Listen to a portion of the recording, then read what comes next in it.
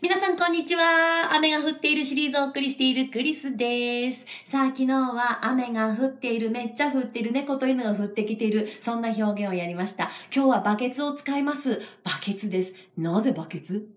日本語でもありますよね。バケツをひっくり返したような雨。その英語の表現があるんですね。It's coming in a bucket. It's coming in a bucket. バケツに入ってきている。もう日本語とあんまり変わらないと思います。It's coming in a bucket.It's coming in a bucket. さあ言ってみましょう。It's coming in a bucket. せーの。もうリズムでこうロールする感じです。It's coming in a bucket. せーの。OK。問題ないですかね。coming 来てるよ。バケツの中に。という表現を覚えて。ということで、明日はまた違う雨が降っているっていう言葉をお伝えします。ではまた明日 !See ya!